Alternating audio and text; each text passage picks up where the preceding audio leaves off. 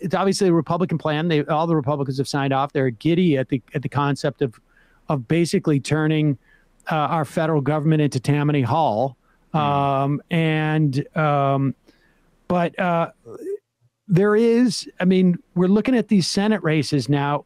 give me your sense of like where the Democrats are in terms of like uh, the fall elections, because there doesn't seem to be and, and we're going to be talking uh, in just uh, a couple of minutes to uh, to Lucas Kunce, who's running uh, for U.S. Senate in Missouri in a um, in a heated primary in Missouri. And I think he has, if he gets if he gets the nomination, which is you know certainly not not a lock. He's running up against a self-funded um, millionaire, billionaire. I'm not quite mm-hmm. sure.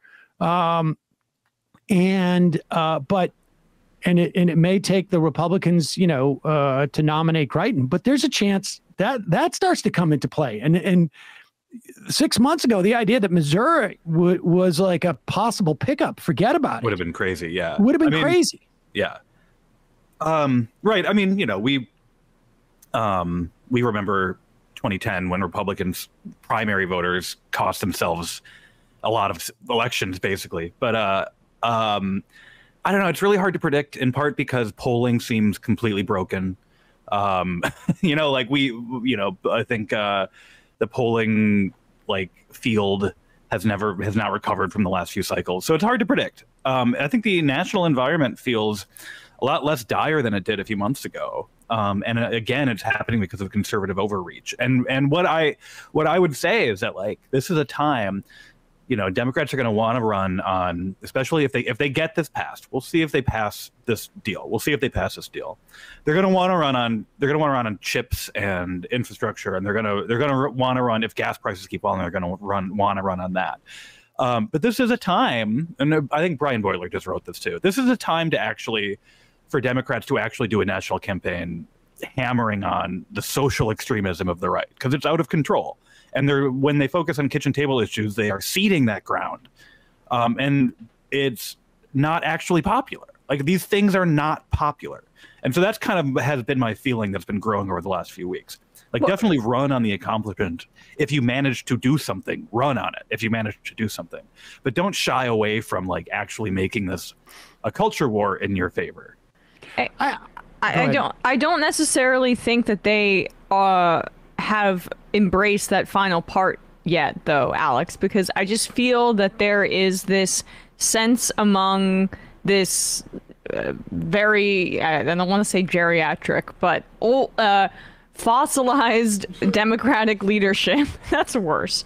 Um, yeah, that fossilized is actually worse than geriatric. but it's more fun to say. Yeah. Uh, fossilized democratic leadership that, you know, uh, they are, I think, often uh, under the impression that even saying the word abortion is something they should stay away from. They're on the we're we're pro-choice, we're pro uh, medical privacy, uh, not uh, healthcare is a right or anything even close to approaching that kind of thing. And particularly on these anti-gay, anti-trans bills we've seen throughout the country, I just feel like there has not been any effort at a coordinated response. Um, and they seem to be allowing the, you know, uh, giving the Republicans enough rope to hang themselves uh, to, uh, to that degree with their extremism. But I, I, that is a well, is, prevent I mean, defense yeah. approach as opposed to making the case in and of itself that they are extreme and uh, insane. You're no, you're totally right. That is their strategy. This is this it's self impeachment, right? This is this has been their strategy. Um, it doesn't work, but this has been their strategy. Republicans will hurt themselves by being so extreme that they naturally get punished for it, and that's uh, that's why I'm saying like, for once, like listen to the, your focus groups, like actually do the thing we accuse you of doing, and be focused like focus group driven, and actually make the make the make the positive make the negative case, but actually make the case yourself instead of just saying um, Republicans are going to get so wild that the media will say they're all extreme and all the voters will naturally come to the conclusion that they're extreme. Like yeah, you got to actually make the case. So yeah, I'm totally with you, Emma. Let, let's play this uh, this ad because we were we you know we we pulled this ad. It's a a a leaked ad. It's getting some grief online, um, and I'm not so sure that it that grief is warranted. I'm curious as to your um, uh, perspective on this. This is a D triple C uh, ad that is uh, targeted um, towards uh, Latino voters in Texas and um, in three other states. Um, and here is here is the ad. This is an audio ad. I'm I'm curious as to your take on this. Oh, my back and neck hurt. That's because you're working too much. Calmate, you should slow down. I can't. I need to make more money. Look, with gas prices through the roof and my kids needing daycare, it's not enough. Don't worry so much. I'm just so stressed out, and I don't know what else to do. What you could do is vote for Democrats. These Republican extremists have no plan to help us. But Democrats seem so out of touch. Not true. These MAGA Republicans are only working for rich people. Democrats know firsthand that even small price increases are hard on working families like ours. Democrats are finding solutions, unlike the Republicans. Calmate. What you could do is vote for Democrats.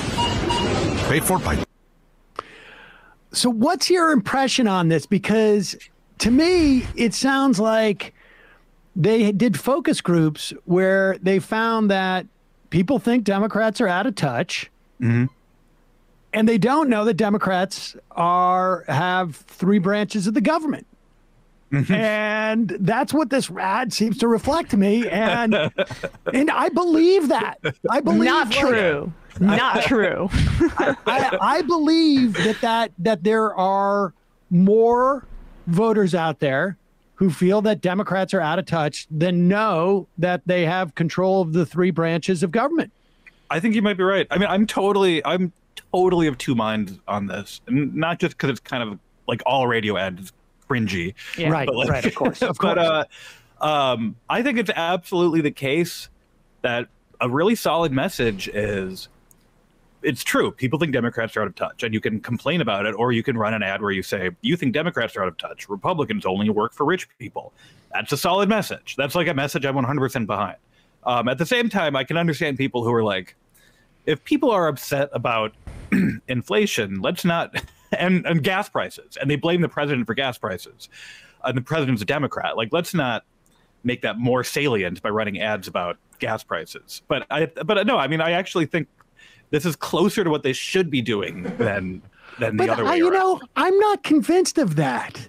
Yeah. I'm not convinced because, like, look, you're not fooling anybody. right? like the gas prices, like it doesn't matter what you say in your ad. I know that gas prices are higher than they should be. Yeah. And you know, it doesn't matter what you say in your ad. Like there's there's some you know, I, I'm I'm working too hard. And so on some level, I think there is value in Democrats acknowledging it. Um it the the the really valuable thing would be if they had the ability to sort of like, you know, fix those things. I don't think they, they with gas prices. Incidentally, Exxon today announced record-breaking profits. Mhm. Um, and you know, every Democrat should be out there today. I know that they're feeling their oats about the uh, the, the Senate bill, and maybe they want to just lay low and not upset Joe Manchin and, and criticize the fossil fuel industry or whatnot. But uh, next week, you know, after that bill is signed or whenever they get this through reconciliation, uh, I guess a couple of weeks from now, um, the, the the they should be out there hammering Oh yeah, Exxon. yeah. I mean, Uh, in, a, yeah, in a big way. But you've got to acknowledge these things. Yeah. Right. I mean, you can't like you know you you you have to acknowledge these things, and I think there's value in doing think- it because yeah. it's the Democrats realizing like well, we don't have the greatest message, but we do have a good message, which is they're lunatics. They're lunatics, yeah. And if anything, I wish that ad would hit that harder too, where it's like Agreed. you could have a version of that ad that is like, yeah, you're worried about inflation and gas prices, but like they're concerned, they're not going to do anything about inflation and gas prices because they're worried about uh, uh, uh, drag book club at the library. Like that's their concern right now. like they're I- they're they're off the rails. They're worried about canceling Dr. Seuss and not caring at all about the economy. But we're the ones who actually hmm. want to do something about it.